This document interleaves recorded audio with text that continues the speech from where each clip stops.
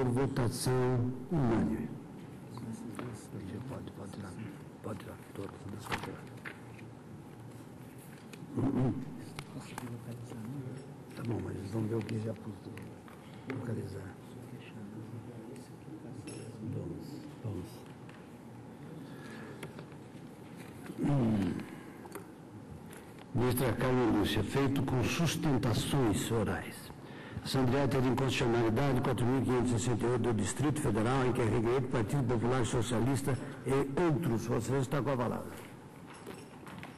Senhor presidente, senhores ministros, essa ação direta de inconstitucionalidade é ajuizada pelo Partido da Popular Socialista, PPS, Partido da Social Democracia Brasileira, PSDB, e Democratas, DEM, objetivando a declaração de inconstitucionalidade do artigo 3º, caput, parágrafo único, da Lei 12.382, de 25 de fevereiro de 2011, que dispõe sobre o valor do salário mínimo em 2011 e sua política de valorização de longo prazo, além de disciplinar a representação fiscal para fins penais e revogando ainda a Lei 2.255 de 2010. O objeto específico dessa ação é o artigo 3 da Lei 2.382, que estabelece, aspas, artigo 3 os reajustes e aumentos fixados na forma do artigo 2 serão estabelecidos pelo Poder Executivo por meio de decreto nos termos desta lei. Parágrafo único. O decreto do Poder Executivo a que se refere o CAPT divulgará a cada ano os valores mensal, diário e horário do salário mínimo decorrentes do disposto neste artigo, correspondendo o valor diário a 1,30 avos e o valor horário a 1,220 avos do valor mensal, fecho aspas.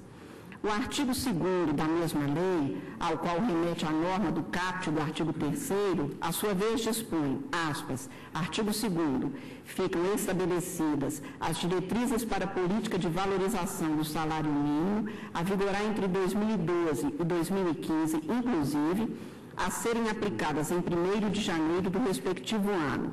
Parágrafo 1 Os reajustes para a preservação do poder aquisitivo do salário mínimo corresponderão à variação do Índice Nacional de Preços ao Consumidor, INPC, calculado e divulgado pela Fundação Instituto Brasileiro de Geografia e Estatística, IBGE, acumulada nos 12 meses anterior ao mês do reajuste. Parágrafo 2 Na hipótese de não divulgação do INPC, referente a um ou mais meses, compreendidos no período do cálculo até o último dia útil imediatamente anterior à vigência do reajuste, o Poder Executivo estimará os índices dos meses não disponíveis.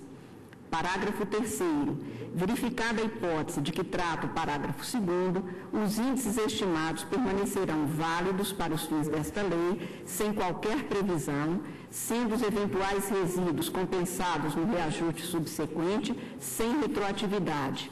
Parágrafo 4 a título de aumento real, serão aplicados os seguintes percentuais. 1. Um, em 2012, será aplicado o percentual equivalente à taxa de crescimento real do Produto Interno Bruto, PIB, apurada pelo IBGE para o ano de 2010.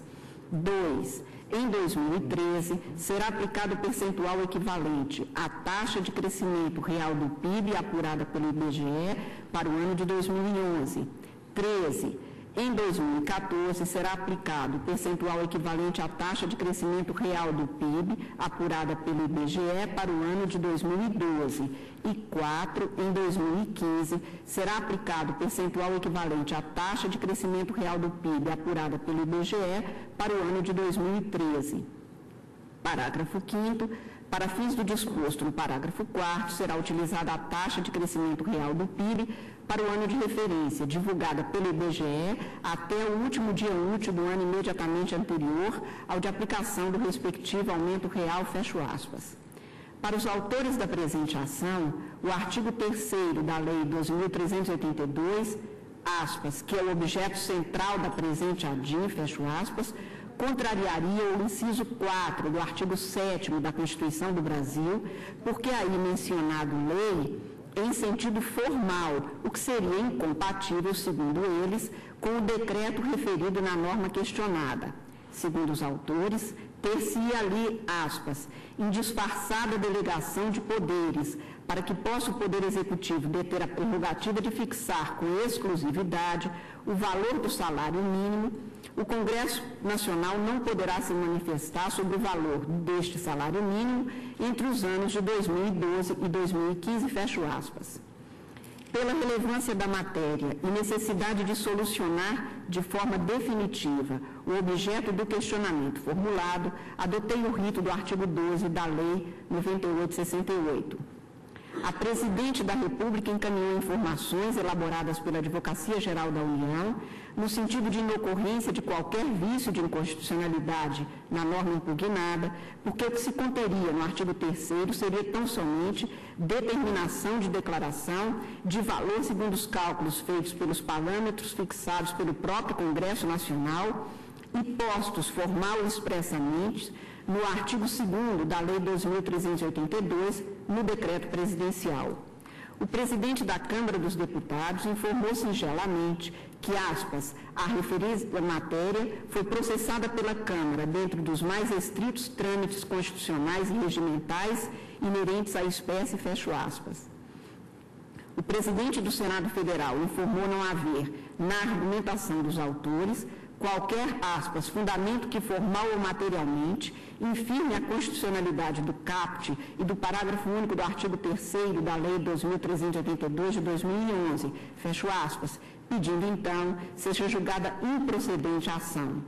A Advocacia Geral da União manifestou manifestou-se pela improcedência da ação, como concluiu também a Procuradoria-Geral da República, e este é o relatório, senhor presidente.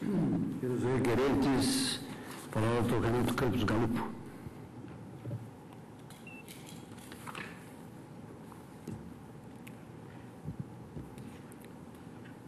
Excelentíssimo senhor presidente, ministro César Peluso, excelentíssima senhora relatora, ministra Carmen Lúcia, eminentes ministros, excelentíssimo senhor procurador-geral da República, advogado-geral da União, senhoras e senhores. Eu inicio minha fala esclarecendo que os partidos autores em nenhum momento se opuseram à chamada política de valorização do salário mínimo muito ao contrário. Entendendo o salário mínimo como sendo um instrumento de melhoria de vida do trabalhador brasileiro, os partidos autores, ainda durante a fase de deliberação perante o Congresso Nacional, por seus representantes parlamentares, propuseram emendas que visavam fixar o valor do salário mínimo é, acima do que foi efetivamente previsto e fixado na Lei 12.382. Propostas que indicavam valores de 600 reais, 580 e 560, foram rejeitadas pela maioria governista naquelas casas legislativas, tanto na Câmara quanto no Senado. E por isso, o salário mínimo para o ano de 2011 foi fixado neste valor de 545 reais. O que se insurge nesta ação é contra a possibilidade de fixação do valor do salário mínimo nos anos de 2012 a 2015 por meio de decreto do Poder Executivo. E por quê? Em primeiro lugar, porque nós entendemos que essa questão do salário mínimo tem componentes políticos, econômicos e sociais que transcendem a mera técnica e a mera equação aritmética de reajuste prevista na Lei 12.382. Por ocasião do julgamento da ação direta de inconstitucionalidade número 1442, de que foi relator o eminente ministro Celso de Mello, decano desta corte, ele salientou, Sua Excelência, como relator, as seguintes ponderações sobre, sobre este ponto. Aspas. A questão do salário mínimo não é uma questão, não é uma simples questão de ordem técnica. É, sobretudo, um problema de ordem social, com graves implicações de caráter político, pois revela, na exata definição do seu valor, o real compromisso do programa governamental com a justa remuneração do trabalho e com a plena emancipação da classe operária de sua inaceitável condição de opressão social e de arbitrária exploração econômica. Vejam, Vossas Excelências, que a forma como foi posta a questão na Lei 2.382 retira do reajuste do salário mínimo qualquer ponderação de ordem política, econômica ou social. O que se mostra ainda mais inadequado diante do cenário de incertezas na economia internacional.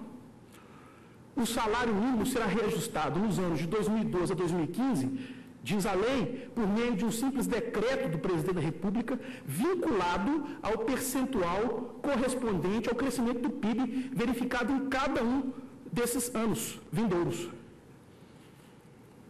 Se, eventualmente, o Brasil for atingido por essa crise econômica, cujas consequências e o impacto sobre a economia nacional são imprevisíveis, é possível se cogitar, por exemplo, que no ano de 2014 a 2015 o trabalhador brasileiro terá zero de reajuste. Porque é um ato vinculado. É uma lei de efeitos prospectivos com repercussão durante quatro anos.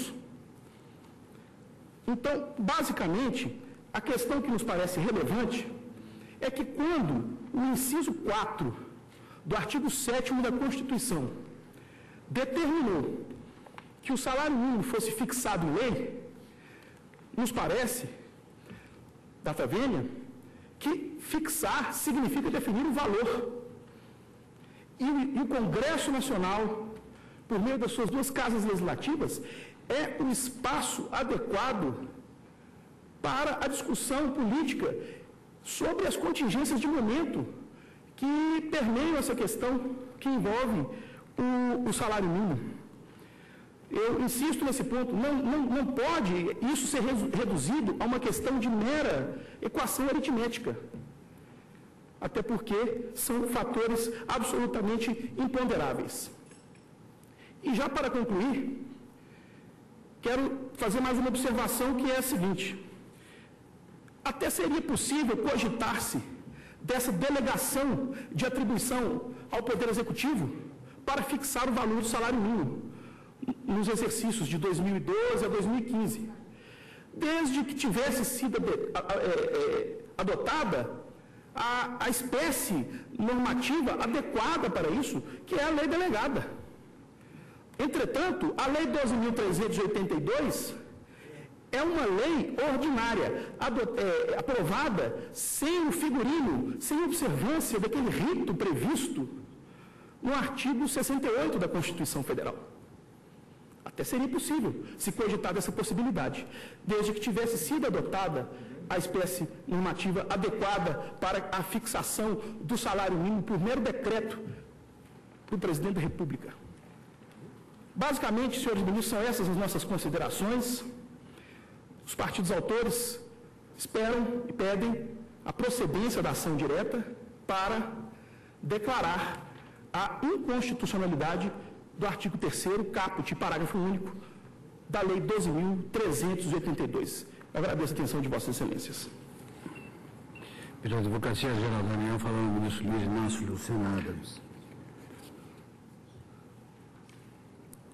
Sentir senhor presidente, ministro César Peluso, sentir senhora relatora, senhores ministros, senhor subprocurador-geral da República, doutor Haroldo, representante do Ministério Público Federal, senhor advogado, Patonga. O tema é, no nosso, nosso modo de ver, uma simplicidade solar. É, arguem os partidos autores de que há, neste caso, uma verdadeira delegação ao Poder Executivo para fixação do salário mínimo. Esse é o ponto em debate aqui. E, de fato, pela simples leitura da lei, percebe-se, como já foi feito aqui, percebe-se que não há delegação. Em absoluto, há uma delegação de competência para o Poder Executivo, no próprio arbítrio, no próprio processo discricionário de elegibilidade de fatores para a correção salário mínimo, para o executivo de fixar o salário mínimo. Aliás, não é essa sequer a palavra que está na lei. O parágrafo, e aqui diga-se passagem, a DIN se dirige exclusivamente ao artigo 3 ela não questiona o artigo 2 portanto, as regras de correção do mínimo permanecem e continuam válidas. O artigo 3 para o, terceiro, para o parágrafo claramente diz que o Executivo, mediante decreto, divulgará, dará conhecimento geral dos valores nominais do salário mínimo decorrente da aplicação da regra de ajuste fixado. E o Executivo não tem nenhuma escolha. Ele obrigatoriamente vai usar a dupla vinculação que a lei estabelece. O PIB correspondente aos dois anos anteriores à fixação do novo salário mínimo e o valor da inflação apurado pelo IPC, que são divulgados pelo IBGE. Sequer, sequer, sequer o Executivo tem escolhas ou interferência nesse processo. É um processo de apuração tradicional, antiguíssimo, feito pelo Instituto de respeitabilíssima eh, qualidade técnica. Portanto, o que se está a discutir aqui, na verdade, não nos parece absolutamente suscetível a qualquer identificação de inconstitucionalidade. Ao contrário, a lei, como política de valorização do salário vem a respeitar a própria inciso 4 do artigo 7 quando estabelece uma política efetiva de valorização do salário. Uma política que não é contingenciada a cada ano por discussões eh, de naturezas circunstanciais, políticas e às vezes até eleitorais que permeiam os debates relacionados a uma política pública importantíssima, de significativa qualidade, como é a questão do salário mínimo. Na verdade, o Poder Executivo há muito tempo busca, e o Congresso Nacional fundamentalmente buscam esta implementação de uma política permanente. Há vários anos, desde 2007, a LDO vem prevendo uma regra, buscando uma regra permanente de atualização do salário mínimo, mas cuja efetividade tem sempre falhado porque a regra de fato não tem se mostrado mandatória como se dá estabelecer. Portanto, não há delegação. O que a lei estabelece é uma obrigação do executivo, um comando executivo, que aliás está muito bem dito no relatório da Comissão de Constituição, Justiça e Cidadania, em quando ele diz que o que se pretende na proposição de debate não é absolutamente delegar ao Poder Executivo a fixação do salário mínimo, mas tão somente determinar ao Presidente da República, mediante ato administrativo, não é ato normativo, é ato administrativo, apesar do decreto, é um ato declaratório, que declare, publique, informe esse valor, já fixado segundo os critérios estabelecidos em lei. E isso é fundamental. O, o, o absurdo, desculpe, senhores ministros e é que se essa DIN eventualmente pudesse ser declarada constitucional, quem é que declararia, quem que formaria o valor salário mínimo? A imprensa? É o que o IBGE? Porque é a lei continua válida, continua vigente. Então, na verdade, senhores, senhora ministra, senhores relatores, senhores ministros, senhor procurador, senhor procurador da República, o que nós estamos aqui em debater é a preservação de forma transparente, de forma clara, orientativa, que de fato premia, inclusive, a, a, a, o princípio da publicidade, de que a administração pública informe com clareza as comandos ao qual ela está submetida. E basicamente o decreto cumpre, cumpre essa finalidade: informar a sociedade brasileira que, aplicada a regra da lei, aplicada a regra da lei, a inflação, repito, a inflação e o NPC do ano anterior, aplicada essa regra, o valor do salário mínimo passa a ser X. Pura e simplesmente isso. O presidente não escolhe nada. Ele não tem opção nenhuma a exercer. Ele não decide em absolutamente nada. Ele cumpre um comando do Congresso Nacional. E é simplesmente isso. Ele está, o presidente da República, até 2015, está cumprindo, estará todo ano, mediante decreto, cumprindo uma ordem, um comando fixado pelo nosso Congresso Nacional, que é quem fixou o valor do salário mínimo, garantindo, em cumprimento ao próprio inciso 4 uma política de valorização do salário que preserve seu poder executivo. E é essa a diretriz da, da lei, e é isso que a Advocacia Geral da União solicita que seja preservado em favor do, em última análise, dos trabalhadores que são usuários ou são dependentes deste mesmo salário mínimo. Muito obrigado. Para o gabinete relator. Senhor presidente, eu inicialmente agradeço as manifestações dos senhores advogados, passo a leitura do meu voto. Como relatei, os partidos Popular Socialista, PPS, da Social Democracia Brasileira, PSDB e o Democrata, que ajuizaram esta ação direta de inconstitucionalidade, como eu disse e li o que expressamente por eles definido, tendo como específica e objetivo questionamento a validade constitucional apenas do artigo 3 caput e parágrafo único da Lei 2.382, de 25 de fevereiro de 2011, que dispõe sobre o valor do salário mínimo em 2011 e a política de valorização de longo prazo, além de outras providências tomadas. Os autores argumentam, em síntese, que a norma questionada estaria maculada por inconstitucionalidade por conter indisfarçada delegação à presidente da República para dispor sobre o valor do salário mínimo mediante decreto. Segundo eles, e tanto afrontaria o inciso 4 do artigo 7 da Constituição do Brasil.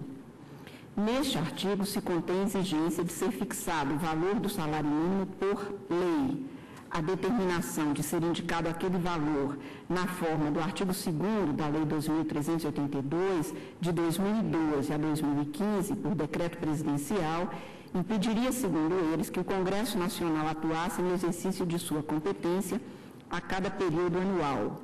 Daí a inconstitucionalidade alegada, porque teria havido afronta à exigência constitucional de lei em sentido formal para aquela definição eu releio, que é breve, o artigo 3 da Lei 2.382, que estabelece que os reajustes e aumentos fixados na forma do artigo 2 serão estabelecidos pelo Poder Executivo por meio de decreto nos termos desta lei. E no parágrafo único se tem que o decreto do Poder Executivo divulgará a cada ano os valores que serão então apurados na forma do artigo 2 que eu é, fiz questão de ler no relatório.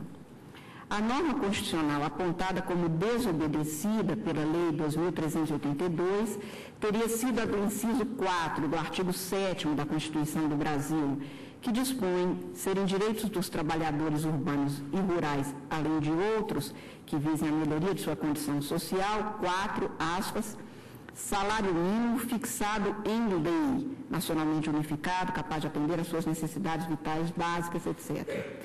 O ponto discutido na presente ação é exclusivamente se a norma do artigo 3 da Lei 2.382, de 2011, conteria determinação para se fixar o salário mínimo por decreto a cada ano, de 2012 a 2015, tese dos autores da presente ação ou se ali haveria mera indicação do quanto devido como salário mínimo a cada ano até 2015, segundo o valor fixado naquele diploma legal.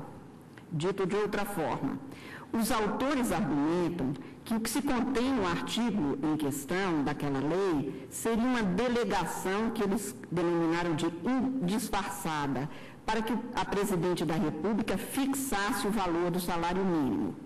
O que o Congresso Nacional e a presidente informam, secundados pela Advocacia Geral da União e pela Procuradoria-Geral da República, é que o valor já foi fixado por lei, cabendo à chefe do Poder Executivo, por decreto, apenas atualizar e divulgar o valor segundo os parâmetros indicadores legalmente estatuídos de maneira fechada, objetiva, formal para os autores, a divulgação do novo quanto a cada ano, por decreto, desobedeceria o comando constitucional relativo ao tipo legislativo a se adotar para tal procedimento.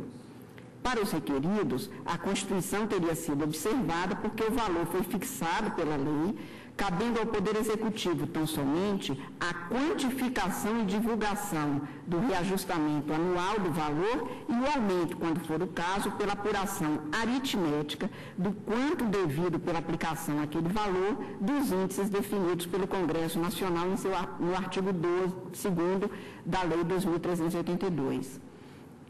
A norma constitucional, tida pelos autores como contrariada, refere-se à exigência da lei para o estabelecimento do valor do salário mínimo. O que se há de levar em conta para sua interpretação é, portanto, a definição constitucional de fixação e de valor. Quanto à fixação, é de se afirmar na esteira da lição, dentre outros, de José Afonso da Silva, que a própria Constituição, aspas, oferece várias regras e condições, fecho aspas, já em seu texto, impedindo a atuação livre do próprio legislador por ela convocado, para, com base nestas normas, estabelecer o valor do salário mínimo nacional a ser adotado. Daí porque fixar no sentido do inciso 4 do artigo 7 da Constituição do Brasil, há de ser considerado como prescrever, assentar, firmar. A epígrafe mesma da Lei 2.382 esclarece que nela se dispõe sobre, aspas, o valor do salário mínimo em 2011 e a sua política de valorização de longo prazo, o que também é foi realçado pela Comissão de Constituição e Justiça, que expressamente e foi citado aqui da tribuna pelo nobre advogado-geral da União, não estava a delegar o valor que, viesse, que viria a ser fixado, mas tão somente a se apurar e divulgar nos termos dali, ali estabelecidos. O que se contém na lei em foco, portanto, é a definição legal e formal do salário mínimo, a fixação do seu valor, quantificada em 2011, artigo 1 e a forma de sua valorização no sentido da nova quantificação, o que viria a ser e a prevalecer, enquanto ela vigorar, para os períodos anuais subsequentes, de 2012 a 2015. Ao definir o quanto valorado em 2011, traduzido em reais, a Lei 2.382 não esgota a sua preceituação, passando no artigo 2 a dispor como seria valorizado, quer dizer, qual seria o valor a ser quantificado em reais e a prevalecer nos períodos de 2012 a 2015. Para tanto, definir os índices que incidiriam sobre o quanto fixado no artigo 1 da lei nos períodos de 2012 a 2015. Fixou-se, portanto, naquela lei o valor do salário mínimo. Este, entretanto, nos termos constitucionalmente definidos, não seria mais quando imprevisível para os trabalhadores e para os empresários nos próximos anos, como vinha ocorrendo desde a implantação do denominado Plano Real. Diferentemente, o legislador brasileiro, em atendimento, segundo posto no próprio parecer exarado naquela Casa Legislativa, nos termos da Constituição, optou por adotar critérios objetivos e formalmente afirmados na lei elaborada para valer até 2015, quais sejam o quanto fixado em 2011 e os valores a serem quantificados e adotados naquele período, 2012 a 2015, segundo os índices e a forma por ele mesmo Congresso Nacional fixado. Assim, o Congresso Nacional, no exercício de sua competência típica, que é a legislativa, estabeleceu que o valor do salário mínimo a prevalecer nos anos de 2012 a 2015 seria o de 2011, com reajuste para a preservação do seu poder aquisitivo, para tanto havendo de guardar correspondência com a variação do Índice Nacional de Preços ao Consumidor, INPC, calculado e divulgado pela Fundação Instituto Brasileiro de Geografia e Estatística, IBGE, acumulado nos 12 meses anteriores ao mês de reajuste, parágrafo 1 do artigo 2 da Lei 2.382. Fixou ainda o legislador que, não havendo divulgação do INPC referente a um ou mais meses, compreendidos no período do cálculo até o último dia útil, imediatamente anterior à vigência do reajuste, tais índices seriam estimados pelo Poder Executivo quanto aos meses não disponíveis. De se enfatizar no ponto que a estimativa também não é arbitrária, mas segundo o critério adotado legalmente, pelo que pode ser questionado até mesmo em sua apuração. Estabeleceu ainda o legislador que, se sobrevier àquela situação prevista no parágrafo 2, os índices estimados permanecerão válidos para os fins desta lei, sem qualquer revisão, sendo os eventuais resíduos compensados no reajuste subsequente sem retroatividade. Com tal estatuição, o legislador retirou do presidente da República qualquer discricionariedade quanto à fórmula para apuração do quanto a ser adotado segundo valor legalmente fixado, ou sequer quanto à possibilidade de revisão ou forma de compensação de eventuais resíduos. Fixou ainda o legislador que o valor a prevalecer nos períodos de 2012 a 2015 seria o quanto estabelecido no artigo 1 da Lei 2.382, mais o reajustamento, segundo o índice firmado nos parágrafos 1 e 2 do artigo 2, prevendo também aumento real a ser conferido, segundo os índices igualmente definidos nos parágrafos 4 e 5 do artigo 2 daquele mesmo diploma legal. Assim, o Congresso Nacional legislou, portanto, nos estreitos termos do, do inciso 4 do artigo 7 da Lei 2.382, rigorosamente fixando o valor do salário mínimo, definindo quanto a ser observado em 2011, qual o seu valor no período de 2012 a 2015, que é aquele montante em reais reajustado segundo o índice e a forma estabelecidos nos parágrafos 1, 2 e 3 da lei e aumentado segundo os parâmetros formal e objetivamente definidos nos seus parágrafos 4 e 5.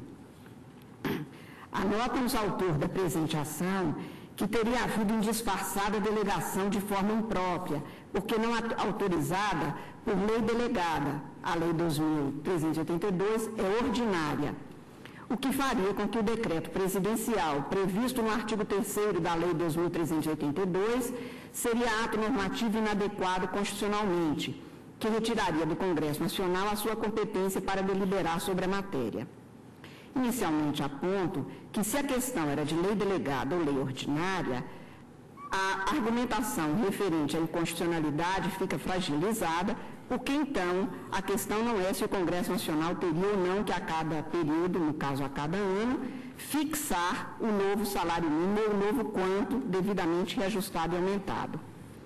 Por outro lado, tenho por indébita a alegação dos autores, porque, como antes esclarecido, não há fixação de valor pela Presidente da República, mas aplicação aritmética, nos termos legalmente previstos, dos índices fixados pelo Congresso Nacional a serem expostos pelo decreto presidencial.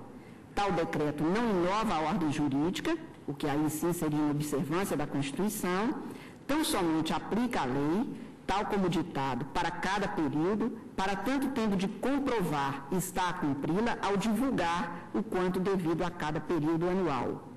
O que se conterá no decreto presidencial é, portanto, apenas a aplicação do índice e divulgação do que valorado pelo Congresso Nacional, segundo fórmula, índice e periodicidade fixados expressamente na lei. Daí porque no artigo 3 da Lei 2.382, se tem, por emenda de redação introduzida na tramitação do projeto, que veio a se converter nesse diploma, que os reajustes e aumentos fixados na forma do artigo 2 serão estabelecidos pelo Poder Executivo por meio de decreto nos termos desta lei. Vale dizer, a Presidente da República não pode, no decreto, senão e exclusivamente aplicar o que, nos termos da lei, foi posto a ser apurado e divulgado. O decreto conterá norma de mera aplicação objetiva, vinculada e formal da lei, sem qualquer inovação possível, sob pena de abuso do poder regulamentar, passível de fiscalização e controle pela via legislativa ou judicial. O que a lei impôs à presidente da República foi tão somente divulgar o quanto do salário mínimo obtido pelo valor reajustado e aumentado, segundo os índices fixados pelo Congresso Nacional na própria lei, cujo artigo 3 é agora questionado. É o que se contém expressamente no parágrafo único do artigo 3 impugnado, aspas, o decreto do Poder Executivo a que se refere o CAPT divulgará a cada ano os valores, fecho aspas. A meu ver, bem andou o legislador porque, fixados os valores a serem adotados a partir dos índices estabelecidos, se não houvesse a previsão do decreto, se teria estabelecido insegurança jurídica mínima em detrimento dos trabalhadores e do empresariado, porque os índices seriam divulgados pela imprensa, por órgãos da sociedade, por órgãos, enfim, gerais, mas tanto poderia ensejar desencontro de informação, o que foi contido exatamente pela previsão do decreto.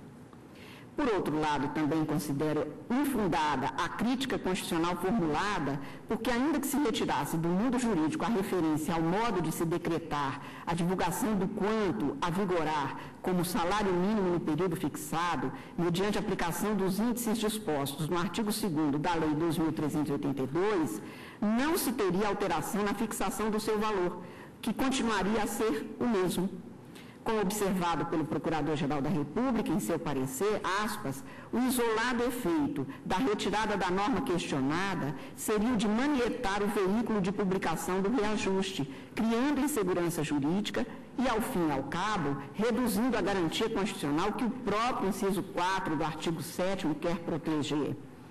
O ato da Presidente da República terá o objetivo de complementar o modelo, divulgando no momento apropriado os índices de correção de reajuste do salário mínimo, quando então cumprirá, sem espaço para qualquer casuísmo, tarefa político-administrativa e não legislativa, iniciada pelo Instituto Brasileiro de Geografia e Estatística, IBGE. E, finalmente, também tem como destituído de fundamento questionado formulado, porque esta lei emana do Congresso Nacional, que é uma lei ordinária, que pode ser revogada quando assim entender conveniente e oportuno aquela casa, sem qualquer interferência do Poder Executivo.